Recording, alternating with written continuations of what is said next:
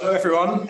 Um, welcome to uh, this year's Founding Historians Lecture for 2022 at the University of Sussex. My name is Iain McDaniel. I'm uh, one of the two heads of the history department at the moment, and I'm a senior lecturer in intellectual history in the department. It's great to see so many of you here this evening um, which is a major event in the university's programme of public lectures, as well as in the calendar of the history department. Um, the Founding Historians Lecture is, in fact, an occasion which is quite special for the history department of Sussex. It often demonstrates the wider significance and interest of history to the wider public and to Sussex's alumni. And I'm pretty sure tonight's lecture will be no different in that respect. I'm also really pleased to be introducing tonight's lecture, which, as Peter has noted in his abstract, really chimes with some of the um, approaches to history um, that were pioneered in the department um, at Sussex since the university's inception. So I'm going to introduce Professor Peter Mandler, who is Professor of Modern Cultural History at the University of Cambridge and Bailey Lecturer in History at Gonville and Caius College in Cambridge. He writes on the cultural, intellectual, and social history of modern Britain and the Anglophone world, which has resulted in a body of work which is really quite remarkable in scope.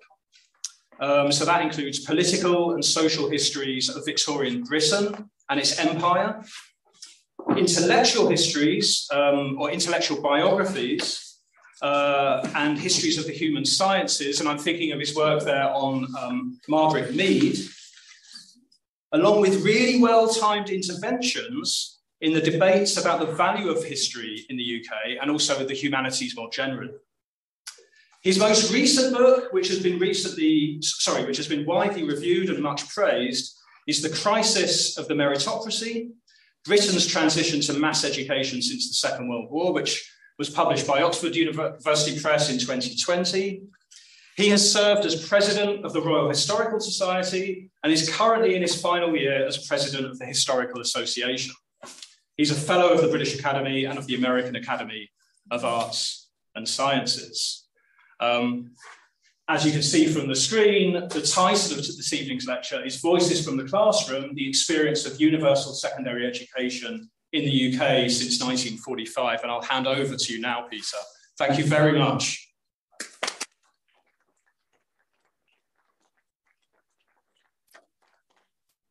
I have to start out with an apology because, as you will uh, hear and probably progressively hear more and more, um, I'm shaking off a cold, which I've had for about two weeks, and it's making my voice deep and sexy um, and uh, gravelly, but I hope not incomprehensible. Um, uh, nevertheless, uh, despite all the vicissitudes, I'm really genuinely delighted to um, be here at Sussex and uh, honored to be asked um, to give this annual lecture.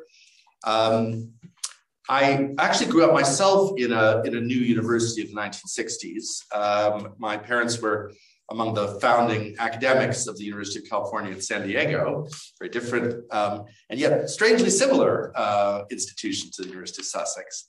And actually, I now find myself writing about these um, utopian universities of the 1960s, as they're called. So I have a kind of intellectual and a personal interest in them, but also I have um, my own ties um, to Sussex, going back at least to the 1990s, where I actually spent quite a lot of time here, one way or the other. Two of my closest friends then and, and collaborators, uh, Pat Thane and Mark Mazower, were here um, teaching history in the in the um, in the 90s. I was an external examiner at the end of the 90s. Um, and um, but sadly, I haven't spent so much time here in the last 20 years because I in 2001, I, I moved from London to Cambridge, and that put me at just one further remove. But I have pilgrimages down here to work in the archives, particularly um, in mass observation and the papers of Geoffrey Gorer, who was Margaret Mead's one of her many um, um, proposed husbands, though he didn't actually quite make it past the line, like several others. Um, and haven't come down ex except for those occasions. Um, but now that, that, there's a direct train from Cambridge uh, to uh, to Brighton, I'm hoping to uh, make this pilgrimage more regularly. Thank you for the invitation. Um, today, I want to share with you some findings from a um, collaborative project um, which is coming to the end of its research stage and moving into the writing up. Um, that I've been engaging with my colleagues, uh, Laura Carter and Chris Jeppesen. All aspects of the work are collaborative, so they share credit uh, on my opening slide.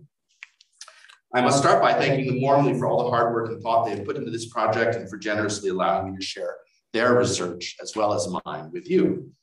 I also want to thank the many custodians of sometimes very private and intimate source materials who've allowed us to share the material in their care in a controlled and ethical manner, but one which allows us to glean many insights into past lives that would be inaccessible otherwise.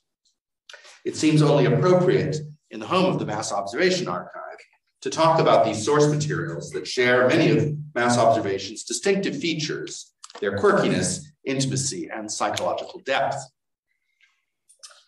Our project aims to assess the impact of universal secondary education on people's lives in the post-war world. Young people's lives, their teachers, parents, and communities, their opportunities and outcomes. What difference did it make that before the Second World War, only 20% of young people had any experience of secondary education? Many fewer obtained any school credentials, and only 1% to 2% went on to higher education. Whereas after the war, all young people spent several years in secondary education, growing numbers obtain credentials, and now half proceed to higher education. Today, I want to offer um, three brief reports on our preliminary findings. Um, I can't obviously cover the, the, all the whole experience of secondary education since the war. Uh, that's going to be the work of our book and probably many other books to come.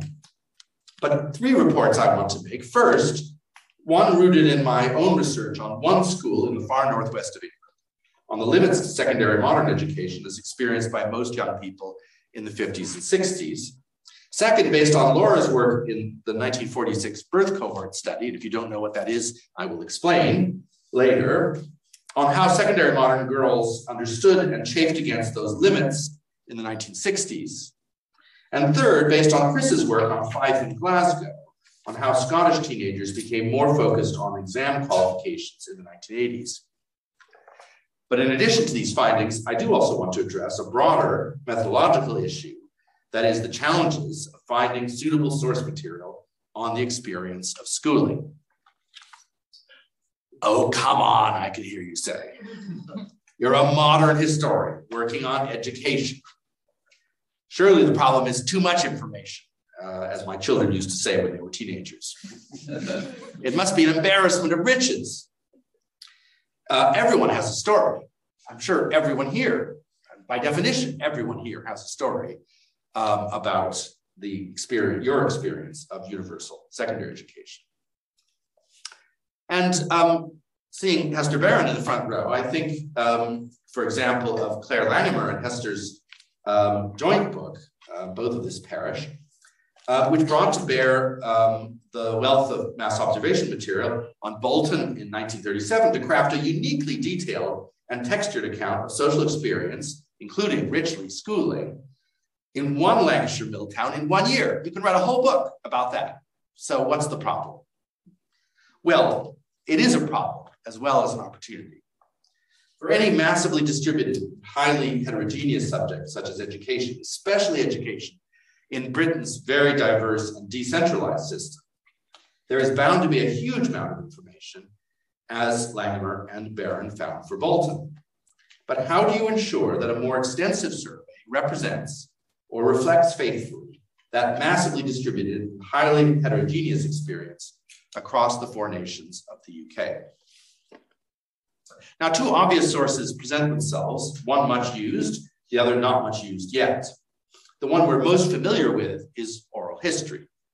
Everyone, as I've said, has a story to tell about school. Surely that is a great asset. And yes, it is a great asset, but not everyone has the opportunity to tell their stories. Some very decent attempts have been made recently to found histories of schooling on oral history.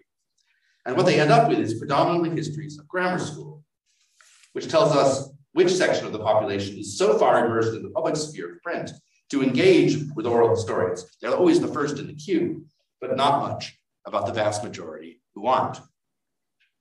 One recent study of women's education, based largely on oral history, interviewed 30 women, 20 of whom had gone to grammar school. The representative number would have been seven. Oral history, furthermore, is by definition retrospective. People read their own experiences back through the scrim of the present. As my colleague Simon Szreter found in his oral histories with Kate Fisher, tracking the experience of sex before the sexual revolution, this retrospectivity is a particular problem when a violent revolution in values and behaviors has intervened between the life events and the point of the oral history. Such as applied both to the sexual revolution and to other major, major generational shifts in the last 70 years, especially in gender roles.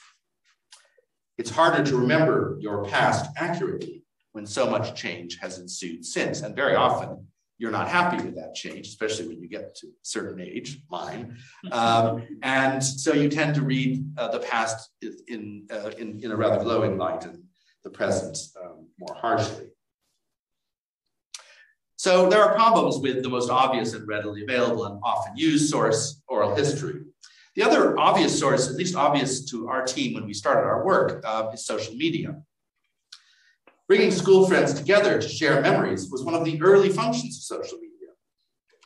Anyone remember this one? The website Friends Reunited was launched as early as 1999 and recruited 15 million members by 2005. Unfortunately, such sources are highly unstable. Friends Reunited could not compete with Facebook, and it folded in 2016, just as our project was getting started. Its data may still survive in the bowels of the corporate behemoth DC Thomson, which now owns it, but Thomson tells us there's no way to access it.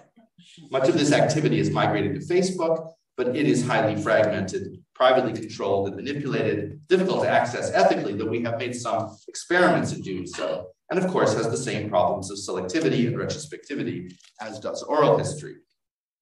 Uh, and Twitter's recent vicissitudes suggest how fragile social media platforms um, remain. So what's the solution? We don't, of course, make the best the enemy of the good by denying ourselves what is nearest to hand. We do use oral history and social media where we can, but a big part of our project has been exploring and exploiting better, more representative, and less retrospective sources, searching for those typical voices from the classroom rather than atypical voices from a distance in time and space. Now, social scientists do have sources of this kind. They're mostly quantitative. Quantitative data collected from censuses, surveys, government reports, and so on can give representative and contemporaneous snapshots of the entire population. The more such sources you have, the cleverer, the cleverer things you can do by juxtaposing and correlating them. If you know the family backgrounds of all students, for example, and their exam results, then you can make correlations which suggest the effect of family background on exam results. If you also know their later occupational history, you can co correlate background, exam results, and occupational outcomes, as in this table compiled by the sociologist John Goldthorpe, which shows that education benefits everyone, but lack of education hinders the already privileged less. I'm not going to go into the details of this. It's one of my favorite tables produced by quantitative social scientists tells you a lot, but it only tells you so much. Because there are strict limits to what you can do, even with heaps of quantitative data. Only some things were measured at the time. I mean, you know, obviously we, we do have data about people's family backgrounds um, and their qualifications and their occupations.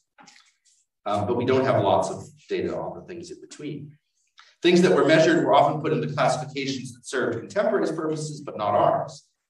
And correlation is not the same as causation. We may know that there is a connection between family background and exam results, but this doesn't tell us much about how it works. For example, we really need to know how it works in order to develop policies to counteract it. In our project, we have sought, therefore, to uncover new sources that have the representativeness and contemporaneity of social science data, but also the richness of meaning and experience of oral history sources. Such sources might provide better explanations for the, for the quantitative trends and also identify other hidden trends that the quantitative sources can't reveal. So each of my three vignettes will also tell us about these unusual sources massively distributed and representative and contemporaneous, and we think full of meaning.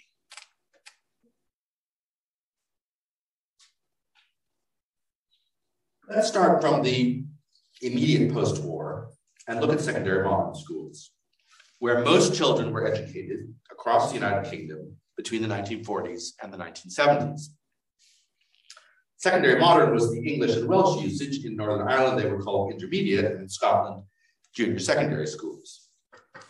In England and Wales alone, there were about 4,000 of these schools by the 1960s. That's quite striking. There are only about 4,000 secondary schools of all kinds in, um, in Britain today, because schools were smaller then.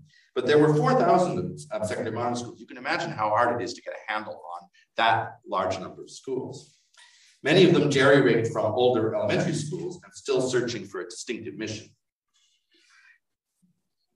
What were some of the ideas about that mission, and how did these ideas fit with their students and their parents' aspirations and ambitions?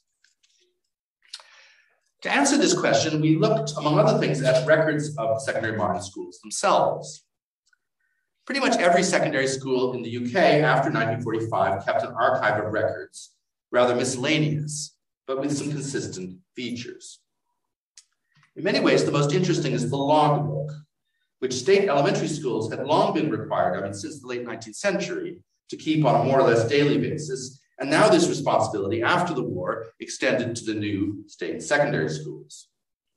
Their main purpose was to record legal obligations, teachers' hirings and firings, uh, pupil absences, school trips, injuries and punishments, numbers on the roll, admissions, and destinations. But some heads, as we will see, used the logbook as a kind of confessional, recording their own feelings about their challenges and successes, where the school was headed, what was its ethos, real or imagined. Other typical records preserved range from admissions registers, which tell you about the catchment, feeder schools, even family backgrounds, leavers registers, uh, for trajectory from school to further education or work. Punishment books, which speak sometimes alarmingly for themselves. I probably shouldn't say this. I hope there are no archivists present, but you'd be surprised how many punishment books are available to researchers without any data protection coverage. They, there are lots of secrets that they uh, hide uh, within. I mean, we're of course very careful when we use these sources. Um, governor's minutes, which are of variable usefulness, anyone who's been a school governor can know knows about that. Um, PTA minutes, almost always enlightening about the wider community, and in some ways, best of all, school magazines, which go through several transformations from very stodgy yet still bursting with the energy of student work and extracurricular activity in the 1950s, as on the left, to revolutionary and blazingly creative in the 1970s, as on the right. We've been puzzling over purple cardigans rule okay for quite a while. There was obviously some local secret that was being hidden there. And alongside the common sources, all of these sources are ones you typically find in school records, lots of miscellanea and ephemera, photo albums, samples of student work, testimonials to beloved teachers on retirement, those are great. Uh, floor plans, timetables, you name it. Now, of course, schools differed greatly in the faithfulness with which they recorded these things and with which they preserved them. And grammar and independent schools are, of course, overrepresented. But nearly every school kept something, at least a logbook and governor's. And mostly these are lodged in the county and city record offices of their local authority. Furthermore, every school has another kind of record lodged centrally in the National Archives. That is, the school inspectors' reports, HMI. These reports, while formulaic to some degree, are also surprisingly full of human interest. I have to say, they're a lot more, uh, a lot more full of human interest for the 50s, 60s, and 70s than Ofsted reports are today, which they were just written in bureaucratese. But the HMI reports from the earlier period are, um, like the school magazines, bursting with human insight. Inspectors had strong views as to what should be the ethos of the school, and also strong views on what it actually was, and they were as careful to record their impressions of these intangible things as of the nuts and bolts. They give an excellent outsider's view that complements the various insiders' views from school records. So we can select out any type of school we like in surveying school records, And by ranging around the country, we can compile a set of sample schools for which we write up school portraits that are both roughly representative and contemporaneous, not overrepresenting the best record keepers like grammar and independent schools. And that's what we've done. There's one limit we can't overcome, however. There are thousands of schools represented in local record offices with its rich body of material, but their records nearly all run out by the 1980s. Why is this? I suspect multiple reasons. Comprehensive reorganization made a lot of schools feel like they were beginning from ground zero in the 70s or 80s, even if they were, in fact, simply rebadged versions of older schools, as many of them were. Comprehensives were also often self-consciously modern and wanted to distance themselves from past discredited school systems. If you merged of old grammar school with a relatively new secondary modern, what was your history? You didn't want to make it the grammar school, so you just started from scratch. And then the internet dealt a devastating blow. By the 2000s, most school records were kept in digital form only. Sometimes they were mounted in archives on websites, but looking at websites of most secondary schools today is a woeful experience for an historian. Academies like Tom's think they are starting from ground zero, especially, I fear, those in multi academy trusts. The last thing they want to do is affiliate themselves to their older selves um, by preserving records. And I can tell you some really horror stories about what head teachers have said to me um, or to my informants about their history. Our hope in our project is that their digital records do still exist somewhere, and we're in the process of trying to write all school governors with this same plea, as well as to, to, preserve their archives, to, as well as to work with the School Archives and Records Association. You won't be surprised to hear that the School Rec Archives and Records Association is dominated by independent schools. So again, it's not very representative. Um, but we're hoping to work through governors and SARA, asking that they identify what historical records can still be found and get them deposited in the relevant local record office where they can join up with their earlier paper predecessors. If any of you are school governors, if any of you have children in schools, if any of you remain retain ties to your old school, ask them now what have they done with their digital records and can they not deposit what they have in the local record office. And archivists, as you won't be surprised to hear also, are actually quite keen to get digital records because they're relatively easy to store and um, catalog, and um, their space is essentially infinite, whereas paper records are um, tend to clutter up the shelves. Okay, with that little homily behind us, let me tell you just one story from school records. It's a story of a single school, not itself at all typical, but only one of many we are canvassing, and its records tell a particularly revealing and moving story about secondary modern schools in the post-war decades. This school is Ingleton, on the edge of the Yorkshire Dales. Like many rural districts, um, Ingleton had before the war an all-age school, essentially elementary, that drew from a wide catchment, which in 1949 became a secondary modern school to implement the Butler Act's requirement that all local authorities transfer their elementary pupils to a secondary at 11. It was always a small two-form entry school of under 400 students, and in, in its early years, it remained essentially elementary in character under under an elderly and distracted headmaster. Its dozen teachers were unspecialized and underqualified. The inspectors found it in 1953 to be a rather grim place, with little life in it, its students well behaved but over drilled, marked by their isolation on scattered farms, shabby and stilted in manner. The school had none of the graciousness and good taste that was supposed to be conveyed by the new secondary education. And in truth, not much secondary education was on offer, especially given that attendance varied wildly with the agricultural seasons. A new broom swept in with the arrival of uh, a new head in the early 1950s. C.F. Neal. Neal had a firm idea of what a good secondary modern school should be.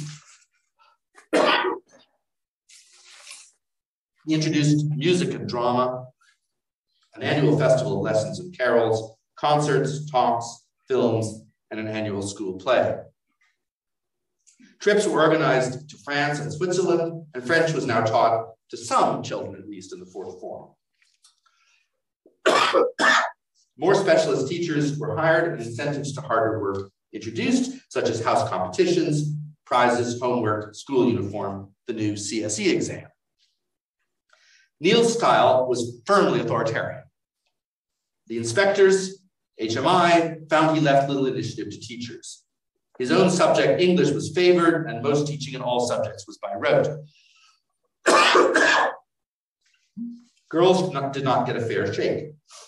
HMI thought that students were now more friendly and responsive, but still not socially mature, still lacked the poise or sense of style that a secondary education ought to instill.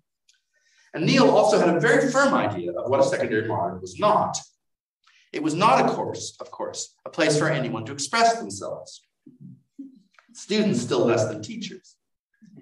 In his annual speech day reports in the 60s, recorded in the logbook, he railed against jeans and other weird forms of dress teddy boy trousers and shoes, slovenliness, neglect of the Christian virtues, late nights, and promiscuity, blaming parents for their permissiveness. But perhaps more oddly, given his commitment to hard work and discipline, he also set himself against his students and their parents' academic aspirations. The CSE exam, designed for secondary moderns, he thought was best suited to his charge's abilities and likely occupations, mostly still in agriculture or factory work. Citing Ecclesiasticus 40, the life of one that laboreth and is contented shall be made sweet, he preached stoicism and acceptance of one's lot. So when parents hinted that their children might benefit from attempting O levels, the academic grammar school exam, he resisted, once again, blaming this excessive ambition on parents' permissiveness, spoiling their children. His problem was that parents were voting with their feet. Other schools were offering O levels, and they took their children to them, especially after a comprehensive school opened in nearby Settle in 1958. The Ingleton rolls fell from 375 in 1957 to 200 by 1967. And the head's grievances deepened, not only because the 60s spirit deepened, but also because he had left himself with an intake creamed of ambition which turned out not to be an improvement, but rather the reverse. His speech day reports plunged deeply into the dark night of his soul. Children were arrogant in their ignorance. Old virtues of truthfulness, honesty, kindness, and consideration of others were going by the board. Life at present was being made easy for the drifter. Now it is possible to make a living by having children. This way of life would have made our parents blush with shame he was saved from his misery only by retirement in 1971. One of the first acts of the new head was to lead a school party to a pop concert at the Forton M6 service station. in 1973, the school went comprehensive. I hope he didn't live to see that. The pop concert. I think probably heads who retire at, in, in, in old age like uh, partners whose partners die in old age often kick the bucket shortly thereafter. So we can hope that Neil might have been spared the pop concert at the service station. The light cast by these records helps to explain something which we can observe but not easily explain. Even in the 1950s, most parents wanted more for their children than secondary modern schools could or would provide. Local authorities responded to these desires in a variety of ways by offering O levels in secondary moderns, making them comprehensives in waiting, uh, or by selecting not at 11, but later at 14 or 15, or by opening comprehensives as in Settle. By 1963, most informed commentators deemed the 11 plus to be doomed. And it's hard to find evidence of parent and student pressure at the grassroots to explain this. And historians tend to fall back on top-down explanations, especially the favorite one that Tony Crosland abolished the grammar schools in 1965 after the great majority of local authorities had already determined to do so. In my own book on this uh, subject, excuse the plug, written when our current project was just getting underway, I moaned about how hard it was to get a sense of parents and students' attitudes and how or whether they registered on school and local authority policy. Why did local authorities mostly decide to give up the 11 plus before um, they were told to do so by the government? My hypothesis was that this came from pressure from below, but it's very hard. And I had survey data, quantitative data, but I had no qualitative data to demonstrate this. Now I do. The school records give us a direct contemporaneous glimpse into parents and students' changing aspirations, and also in this case, the consequences of resisting them, visited upon a poor, beleaguered head in his magically shrinking school. My second source uh, may be more familiar than school records like the logbook, perhaps not, I think, um, as that it's still one of the great underappreciated British contributors um, to our understanding of the modern world. And this is the unparalleled sequence of birth cohort studies that have been undertaken at intervals since 1946. These studies take a large representative sample of all people, I mean thousands, um, born in a given year, and follow them throughout their lives, prodding and poking and asking questions every few years on all manner of subjects, medical, political, social, economic, and of course, educational. Every time I talk about the birth cohort studies, I always ask the audience, is there anyone here who is a member of one of the national birth cohort studies? You have to have been born in the first week of March in 1946, 58, 70, um, or uh, 2000. And if you weren't, you're not in. But thousands of people are. They are the source of much of the quantitative data that social scientists use to develop these sophisticated correlations between family background and school performance and occupational trajectory. Lesser known, however, is the qualitative material still hidden in their questionnaires and interviews. The idiosyncratic scribblings of tens of thousands of informants has proven much harder to fathom or even to access than the quantitative data they provide, which can be and has been easily reduced to neat tabular rows and columns. This is because most of the questionnaires were designed with a fixed set of answers. Those answers could be coded and aggregated, turned into numbers, but there were also opportunities for free text replies directly recording voices from the classroom, which couldn't be coded and have by and large therefore been totally ignored. You can see, for example, in the, in the bottom left-hand corner, there's a question, which is just a general question about yourself and your opinions of life. And there's no code, it's the red letters. Um, uh, it's just encouraging people to talk about themselves. And the assumption was that maybe someday someone would read these things and make some sense of them in a way that you can't with quantitative analysis. And finally, someone is. now, we haven't read um, tens of thousands of free text replies. What we have done is to ask a data, a data specialist, JD Carpentieri, to select for us a sample of the cohort participants, making sure we had reasonable numbers of all the representative categories. For example, a reasonable number of secondary modern girls, and of some categories less representative, but of special interest to us. For example, ethnic minority children. Laura, who has been working on the 1946 cohort, that is born in the first week of March 46, has read through all the survey responses from a subsample of 36 girls who went to secondary modern schools in England, Wales, and Scotland between 1957 and 1963, including hundreds of pages of these free text responses. Now, 36 may not sound like a lot, but oral historians will know 36 is a lot. No oral history project would even try to reach that many girls born in a single year, educated only in secondary modern schools. Um, and Laura has dozens more to draw on, should she need to, both from further example, samples of the 46 cohort. I mean, we could go on endlessly pulling out secondary modern girls from the 46 cohort and also from a nearly simultaneous cohort study of thousand families in Newcastle. By contextualiz contextualizing our subsample with the quantitative data of the full cohort, 5,000 participants, we can thus both glean direct testimonies from these secondary modern girls and their parents, by the way, and also fit them into the bigger pattern of all children of their age growing up in the UK in the 50s, and 60s, because we know who these girls are and how they are distinctive and how they are typical. From those free text responses, especially to questions about their school experiences posed just after leaving school, Laura has been able to get at the students rather than just their parents' and teachers' ambitions, and how far they were realized by their school experiences. Now, girls at secondary modern schools after the war were generally expected to be preparing for wife and motherhood. Housecraft, cookery, dressmaking, housekeeping was their most important subject, typically taught in a modern purpose-built housecraft flat. It was also often the subject they appreciated the most. But by the time the 1946 cohort reached secondary school in the late 50s, it was becoming more common for girls to be aiming at a dual role. Wife and mother, yes, but also a worker, even if only part-time during the years of child rearing. For girls from secondary and modern schools, this work is likely to mean low skill and low paid work in shops and factories. Now, it might be thought that the housecraft orientation of their schooling and the low expectations of girls who had failed the 11 plus might have caused these girls growing to adulthood in the 60s before feminism had made much of an inroads, to be satisfied with their destinations as wives, mothers, and part time workers in whatever jobs they could get, contributing to the family income. And indeed, they do not express much dissatisfaction with their failure to pass the 11 plus, mostly because they really didn't expect otherwise, didn't know otherwise, or indeed with their secondary modern schools per se.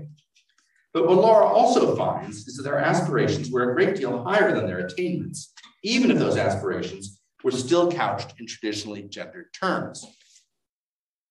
What were the job aspirations of these girls at the dawn of the 60s, at the end of their schooling? As you can see, by far the most popular jobs were nurse, shorthand typist, hairdresser, and teacher in that order, together accounting for over two thirds of all secondary modern girls. These are recognizably jobs compatible with and no doubt stemming from traditional expectations of girls as future wives and mothers. But what we might not appreciate now is that they were all also highly skilled jobs that required qualifications or connections generally not available to the secondary modern girls. Mostly you needed some O levels to aspire to these jobs because O levels were the gateway to further training. By definition, overwhelmingly, it would be grammar school girls who had these O levels, even the new practical O levels in subjects such as needlecraft.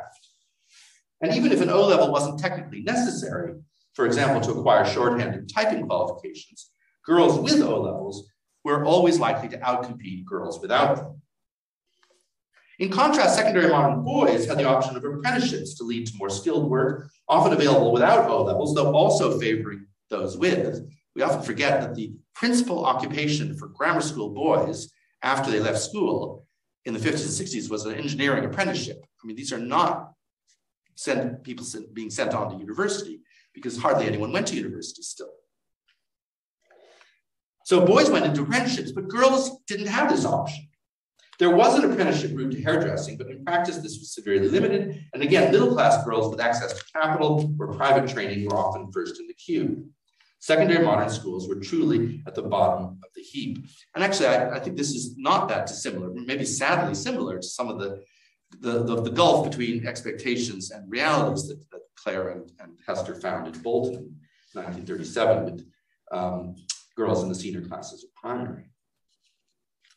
The free text answers to questions about their trajectories into work after leaving school also show how keenly aware secondary modern educated women were of this disappointment. And here I think the fact that these post-war girls had gone to secondary school made a difference and maybe differentiated them from um, children who had left school uh, before the war without secondary education. Laura describes what she nicely calls the hairdresser blues. One girl who had aspired to work in the dressmaking trade was very disappointed that her failure to pass O-level needlework and her employer's refusal to release her for part-time study stymied both her talents and her ambitions. Three girls who aspired to be hairdressers were frustrated by their lack of access to apprenticeships and ended up working in factories and snack bars. Another girl who had wanted to be a hairdresser had to go to work for her mother instead as a bookbinder and ended up abandoning paid work altogether, falling back on the traditional aspirations. As one social worker observed of her, age 16, she is courting steadily. Sure enough, she was married with a baby by 18. In fact, only a handful of the 36 girls were in paid work by age 26. These contemporaneous reflections on school, work, and family by secondary modern girls allow Laura also to identify what it was about hairdressing and the other highly desirable jobs that appealed to these girls. Yes, there was the satisfaction of doing work that drew on both their own deeply ingrained and gendered values and on what they learned from their mothers and from their schooling. But there were also repeated expressions of a desire for creativity and autonomy. One of the frustrated hairdressers had stood out among her contemporaries for her creativity with her own body, dyeing her hair and painting her nails. These were uh, exceptional qualities in 15 year olds um, in the early 60s. Others said explicitly that they yearned for a job that was less routine than low skill factory or shop work and unfettered by a boss constantly looking over your shoulder Hairdressing and dressmaking also offer the long-term prospect of self-employment in a small business, some kind of peak ideal.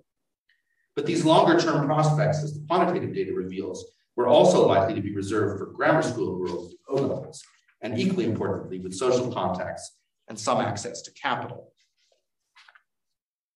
This level of ex experiential and emotional detail helps to explain a lot why the parents at Ingleton, my school, were so keen to get their children to take O levels, and how even within fairly conventional gender norms, working class girls' rising aspirations were not satisfied by the opportunities they did have coming out of secondary modern schools. Here we have direct evidence of, uh, I think, of what is sometimes called vernacular feminism. Rising aspirations of girls, as much in the secondary modern as in the grammar school, greater frustration about the actual outcomes, and a sharpening awareness of women's disabilities compared even to working class men. This vernacular feminism would lay down a foundation that could be activated by a more ideological feminism in the 1970s. Finally, I turn to Chris Jeppesen's work on the Scottish school leaver surveys of the 1980s and 90s, my third source. Since the 60s, the Scottish Education Department has been systematically surveying school leavers that is young people aged variously between 15 and 19. Mostly with fixed choice questions about their school and work experiences that could be coded again for use by social scientists. So we have, these have been used extensively. We have the data, the, the, the raw data about what they say about school and work. Um, between 1977 and 1998, however, an extended questionnaire was employed, and this one has hardly been looked at by the social scientists, um, which concluded with an open-ended question, uh, encouraging respondents to tell more about themselves and leaving a considerable space for a free text reply. Much like Laura's free text responses in the birth cohort study, these responses often gave young people an opportunity, just as they were leaving school, to reflect on their place within the system, both schooling and the labor market, and the connections between them, which gives us unusually deep and again broadly representative insight into young people's experiences. Now, again, we can't claim to have read through all these thousands of free text responses, but with technical assistance, Chris has selected a representative sample of a thousand questionnaires. That's a lot from Fife and Glasgow between 1983 and 1991. This period is particularly interesting because it was both a period of high youth unemployment and a period of rapidly growing attainment of formal educational credentials. Of course, attainment of credentials had been growing steadily over the preceding decades. All that pressure to take O levels that I illustrated in my previous case studies paying off. But the late 80s in particular proved to be the seedbed of the near, nearly universal attainment of school exams and the mass higher education participation that we know today. At the time, the juxtaposition of high youth unemployment and rapidly growing attainment was confusing to policymakers and social scientists. In a market economy, they expected young people in periods of high unemployment to offer themselves to employers for lower wages in order to improve their employment prospects. Or at best, they might be expected to sign up to the many low wage training schemes on offer to give better access to jobs. What they were not expected to do was to stay out of the labor market, to aspire to and even attain exam credentials that were widely held to be useful, even feasible, only to a more academic minority. I mean, unemployed youth, these are not the people you expect to be getting passing and uh, taking passing exams. Economists were surprised by the, this uh, tendency to stay on in school and take exams, which they started to call parking. That is, young workers were taking up educational opportunities temporarily to wait out unemployment. It seemed to the economists an anomalous short term response to anomalous short term unemployment, and economists never understand unemployment. It shouldn't happen. When employment opportunities recovered, it was assumed these young people would give up education and go back to the labor market. But over the course of the 80s, as youth unemployment subsided, this supposed parking activity only intensified. And economists were stumped. How could it be that take up of educational opportunity was unrelated to the state of the labor market? It went up when the labor market went down, and it went up when the labor market went up. Hmm. Clearly, some sort of breakthrough was achieved in the 1980s, a change of culture, not economics. Education was now seen as more desirable, whatever the short term state of the economy, by nearly everyone, even among young people from manual working class backgrounds, whereas only 25% stayed on in school past the compulsory age of 16 in 1980. By 1994, over 56% from the same backgrounds were staying on. So there's an explosion of staying on um, past 16. As I say, economists in particular have difficulty understanding such big shifts as this. As a theory driven discipline, they tend to rely on human motivations remaining fairly stable. And as a data driven discipline, they rely on the key motivations being the things they measure, things like unemployment levels and attainment rates. Now, they do have a reasonable explanation for this shift towards educational attainment over the long term, which is that the economy has become, since the 1970s, much more oriented to cognitive skills. So it makes sense for more people to acquire evidence of cognitive skills before they enter the labor market. More jobs require higher level cognitive skills. Those in turn are cultivated and recognized by educational qualifications. No doubt this is what the growing appetite for taking O levels was partly about, though it long preceded deindustrialization. I mean, the pressure to take O levels was taking off in the late 50s at the height of industrial employment. And in fact, the attainment of qualifications has always run ahead of changes in the labor market. The free text responses to the school leaver surveys do show plenty of evidence of a general awareness of labor market, increased labor market demand for qualifications. The Scottish leavers in the 80s were much more likely to speak directly to the value of credentials, and specifically to O levels, as even the Scottish uh, uh leavers who were taking O grade exams called them. They were much more likely to speak directly to the value of O levels than were Laura's secondary modern schools in the 60s. And that no doubt, no doubt reflects greater awareness of the emergent knowledge economy. But there was also, they were also very aware that something special and dramatic um, was happening in the 1980s. In fact, youth employment opportunities were in decline across the board in all sectors, not just those in long-term decline. And the Thatcher government's new low-skilled youth training schemes were not seen as attractive alternatives. In fact, in Scotland, they were actively disliked and resisted more than elsewhere on political as well as economic grounds.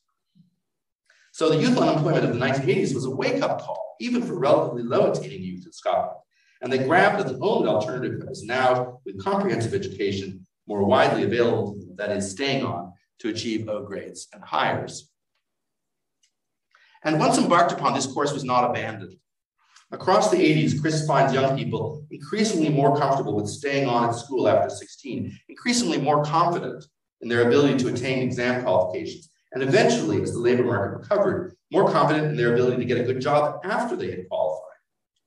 Strikingly, young people's feelings about school, including after the school leaving age, were very much more positive by the early 90s than they had been in the early 80s. The angry young working class men lashing out against school and teachers frequently observed by sociologists in schools of the 1970s, were giving way to young people better acculturated to school, and not by Thatcherism or even by labor market but perhaps the opposite, by their greater optimism about the value of school for life, and certainly their greater comfort with the ethos of schooling as a norm amongst their peers. In other words, we can see a new culture of schooling emerging that the economists can only guess at by observing staying on rates and, um, and employment data. What I hope to have shown you this evening uh, is that studying such a massively distributed phenomenon, such as modern schooling, does require more information. New sources beyond the thick but unrepresentative and retrospective evidence of oral history and social media, and beyond the contemporaneous and representative but thin evidence of quantitative data. But I also hope to, have shown you that historians' skills of interpretation become more important in addressing these new sources our willingness to probe deep into the hearts and minds of people in the past, our striving, never entirely successfully, to shed the preconceptions of our own time, and our openness to the often unfamiliar and unpredictable attitudes and behaviors of others. These are all historian skills vital to understanding, even, perhaps especially, something as apparently familiar as post-war education.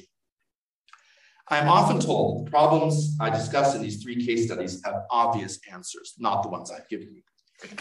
These obvious answers are usually related to top-down or very elite preoccupations. The 11 plus was largely eradicated because Tony Crosland abolished grammar schools. Girls' opportunities changed because feminism freed them in the 1970s. Young people work harder and get more exam qualifications today because Thatcherism forced them to do so. These are not completely empty answers, but they are misleading and partial. And I've tried to reveal how much more is going on in the lives and minds of young people growing up in post-war Britain.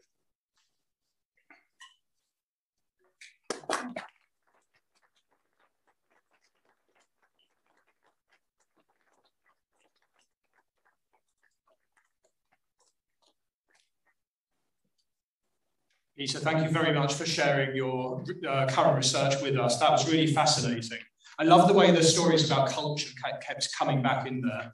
Um, the vote of thanks is going to be um, read or given by uh, my colleague Hester Barron in the History Department, who is now Professor of Modern History um, at Sussex, and whose recent book, most recent book, is entitled The World of the, I should know this, The World of the School, I don't know the subtitle, The Social World of the School, Education and Community in Interwar London, uh, 2022. Thanks, Hester. Thank you, um, and thank you, Peter. Um, so I have the privilege of uh, giving the vote of thanks, which means that it's my job to convey the thanks of the audience to Peter for such a stimulating lecture. Um, but before that, if I could take the opportunity of just saying a few personal uh, words of thanks.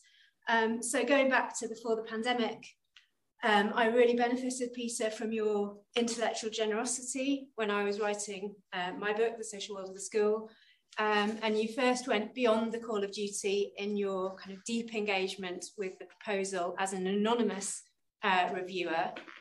Um, but then after you unmasked yourself, um, yeah, your continued willingness to give advice and support, um, it made it a better book.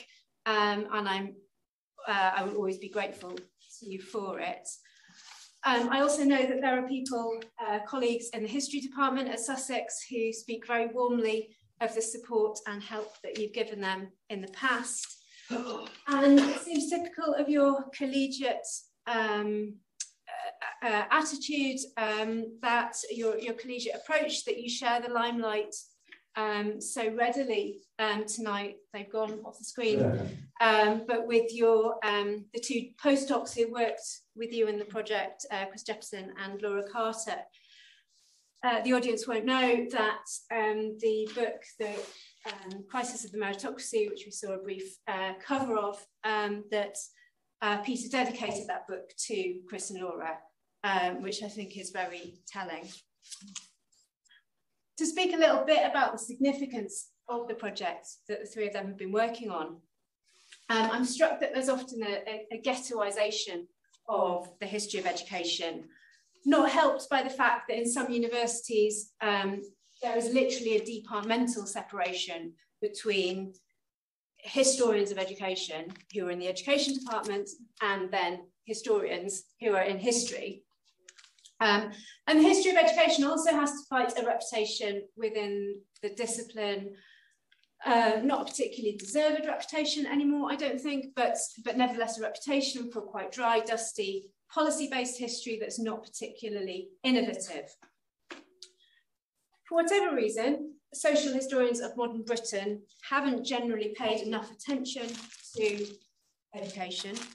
Um, and there's been a lot of work recently that looks in um, nuanced and interesting ways about community and identity and looking at the complexities of class and gender and ethnicity.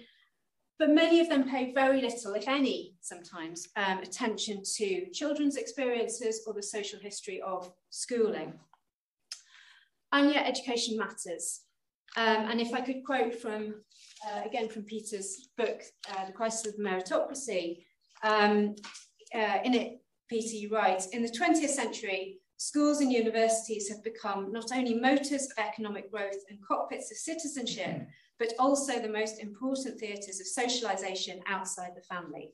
They stand, therefore, on the front line of social change. And so Peter's work shows why education matters. So both in, uh, in his last book and in the work that he's talked about tonight, he and his team show that education mattered not just to policymakers and educationists, uh, to economists, uh, to the government, but to those on the ground, uh, to parents and to pupils themselves. And so the expansion of secondary education was led by demand. Children wanted more, parents wanted more for their children, even if sometimes those aspirations couldn't be fulfilled. Um, and I thought your discussion of of children's aspirations, um, aspirations that they often had no hope of achieving, um, was really quite moving. And I, I, I, agree, I think it's similar to the kind of um, thwarted aspirations that Claire and I found in the 1930s. Um, and it's sad that, that, you know, in the, in the later period, those aspirations were still not being realised. Thinking about education from the bottom up, bottom up is also significant uh, because this has been so often framed as a uh, top-down narrative. Um, so elsewhere, um, Peter, you've described this project as being about a worm's eye view rather than a bird's eye view. The history of education was traditionally um, almost exclusively top down. It was about policy, it was about legislation. And that's changed in recent years. And historians of education and childhood are uh, trying much harder to get inside the classroom and particularly to get the holy grail, which is children's voices. Um, it's often led to a reliance on oral history and memoir, um, but as Peter showed, um, that has problems, particularly the over-reliance, uh, the over-representation of ex-grammar school pupils.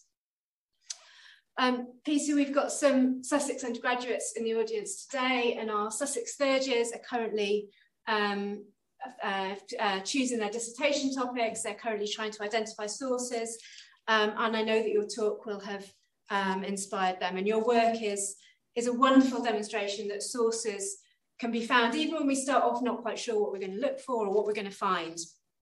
Um, and of course, it also reminds us that being a historian is also about the hard graft um, that we put in to find them as well. So on behalf of everyone at Sussex, everyone in the room, I'd like to thank you again um, for a fantastic lecture and could you please all join me in um, your appreciation for Professor Peter Mandler.